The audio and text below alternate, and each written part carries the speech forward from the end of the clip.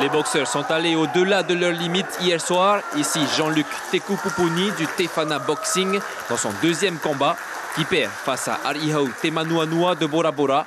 Une victoire par KO.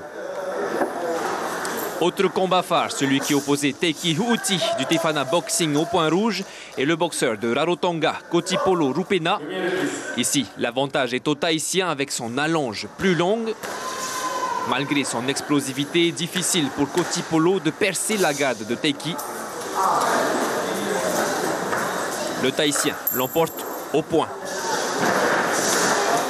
C'était quoi ta stratégie?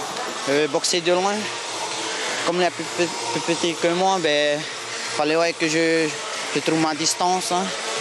Et voilà, j'ai fait ce qu'il fallait, travailler au corps, et, à la tête. Deuxième confrontation spectaculaire, le duel Maui Puava en rouge et Michael Schuster en bleu. L'occasion pour Rarotonga de prendre sa revanche. Le Tahitien commence bien, mais se fait surprendre par plusieurs coups qui le désorientent. Les coachs de Tefana décident de jouer la carte de la sécurité. Pour les coachs, c'était peut-être une bonne décision, mais je voulais continuer encore un peu, voir, voir ce que ça donnait à la fin.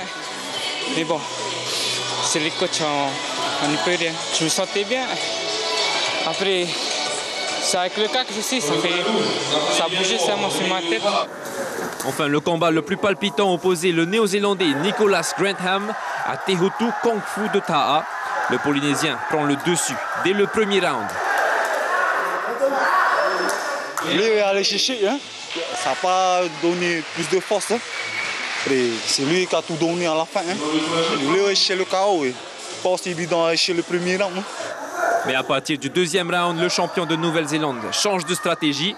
Sur les conseils de son coach, il adopte une boxe plus agressive et remporte la confrontation au point. Il avait de la vraie puissance. Il m'a touché plusieurs fois parce que j'ai laissé ma garde un petit peu ouverte. Le coach voulait que je mette un peu plus de pression, que j'appuie davantage mes coups. Il voulait que je sois plus agressif, car il trouvait que je me comportais un peu comme une cible. Dans les deux derniers combats de la soirée, Pita Henry de Tahiti s'incline face à Miracle Key et Amoro Atiu l'emporte contre Siakitu de Nouvelle-Zélande.